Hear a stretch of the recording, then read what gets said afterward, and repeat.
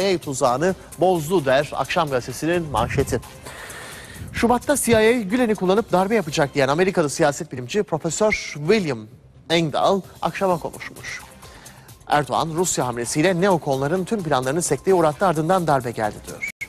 Cumhurbaşkanı Erdoğan Mayıs ayından itibaren Rusya'ya yaklaşarak Amerika'daki neokon siyasetçilerin Orta Doğu planlarını sekteye uğratacak şekilde jeopolitiğinde tarihsel bir dönüş yaptı. Zaten darbe girişiminin arkasındaki gerekçe de budur.